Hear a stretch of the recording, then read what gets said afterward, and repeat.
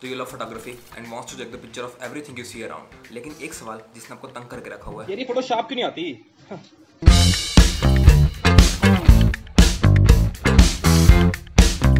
Don't worry जब मैंने photography start करी थी तो this is one of the major problem जो मैंने भी फेस करी थी।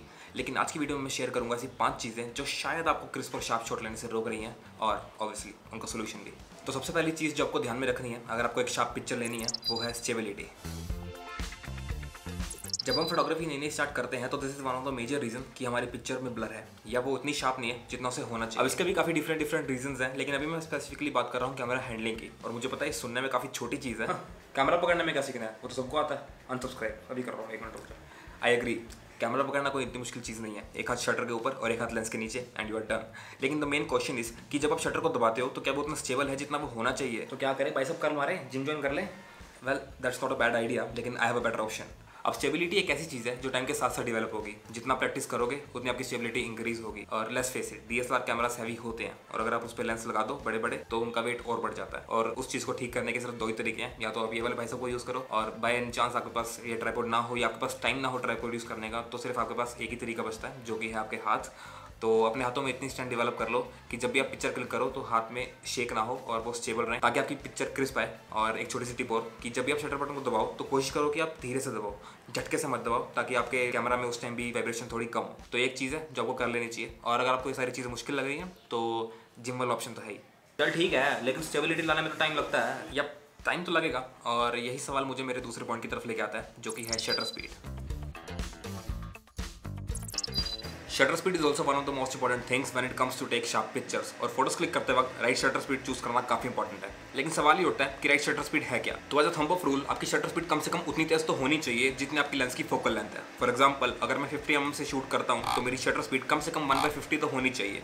लेकिन अगर वन बाई फिफ्टी से मैं नीचे जाऊँगा तो मेरी फ़ोटो ब्लर होना शुरू हो जाएगी। और एक आइडियल नंबर होता है आपके लेंस की फोकल लेंथ से डबल जो कि इस केस में होगा वन बाई हंड्रेड तो अगर मैं फिफ्टी एम पे शूट कर रहा हूँ तो मेरी shutter speed one by fifty से लेकर वन बाई हंड्रेड के बीच में, या फिर उससे तेज़ होनी चाहिए। उससे धीरे नहीं।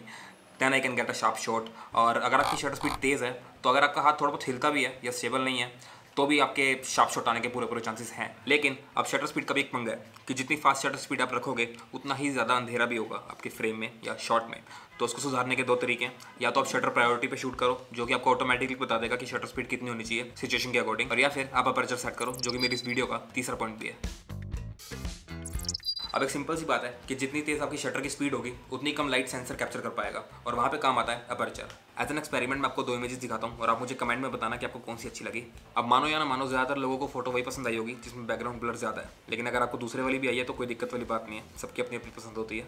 पर द प्रॉब्लम इस इस बैकग्राउंड ब्लर वाले चक्कर में बहुत सारे लोग जो नई नई फोटोग्राफी करना शुरू करते हैं, वो अपने पर्चर को बिल्कुल लोस पॉइंट पे ले जाते हैं, जिनमें से मैं भी एक था. लेकिन ये एक सही चीज़ नहीं है, हर एक सिचुएशन में. तो एक आइडियल पर्चर नंबर है क्या? Well it totally depends on the situation तो हर लेंस का एक ऐसा पर्चर नंबर होता है, या एफ़ होता है, जिसको सिलेक्ट करने के बाद पिक्चर सबसे ज़्यादा शार्प आती है, और उसको हम स्वीट एफ़ पॉइंट भी कहते हैं। और in most of the cases वो स्वीट एफ़ पॉइंट लेंस के सबसे लोअर अपर्चर नंबर के एक या दो नंबर ऊपर होता है। तो फॉर एग्ज़ाम्पल अगर मैं फिफ्टी एम से शूट करता हूँ, और इसका सबसे lowest aperture number F one point eight है तो मैं कोशिश करूँगा कि मैं एफ़ टू पॉइंट एट या फिर एफ़ फोर के बीच में क्लिक करूँ, क्योंकि थ्री पॉइंट एट होता नहीं है तो और ये भी एक बहुत बड़ा रीज़न है, जिसकी वजह से पिक्चर कभी कभी ब्लर हो जाती है तो इसका भी ध्यान रखना, और आगे बढ़ते हैं। तो एक और बहुत ही कॉमन चीज़, जिसकी वजह से आपकी पिक्चर शायद शार्प नहीं आ रही, वो है आईएसओ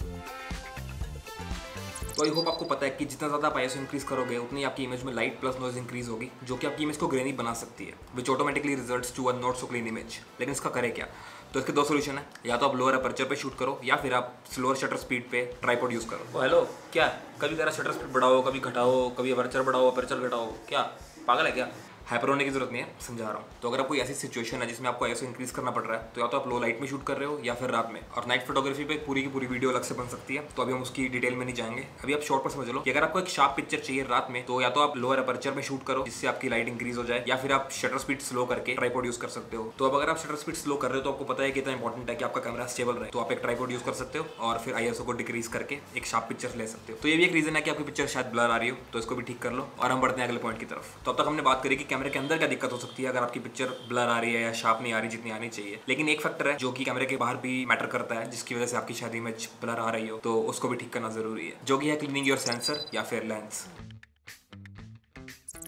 आपका कैमरा सेंसर और लेंस साफ़ ना होना भी एक बहुत बड़ा इशू हो सकता है आपकी इमेज ब्लर आने के पीछे। तो मेक श्योर sure कि आप उसको भी ठीक कर लो। तो अगर आप भी मेरी तरह कैन यूज़र हो तो most of the time camera बंद करते हुए आपने एक पॉपअप स्क्रीन ज़रूर देखी होगी, जिस पर लिखा है सेंसर क्लीनिंग और ट्रस्ट में उस पर विश्वास करने की कोई ज़रूरत नहीं है, वो सिर्फ़ दिखावट के लिए ये कोई वर्ड होता है? दिखावा। वो सिर्फ़ दिखावे के लिए। अरे ये तो मुझे आता है। अरे वाह चलो कुछ तो आता है। लेकिन यार एक में दिक्कत हो गई है। क्या? वो यार सेंसर क्लीन करने के बाद से ना मेरा कैमरा चलना बंद हो गया। क्यों? ऐसा क्या साफ़ कर दिया?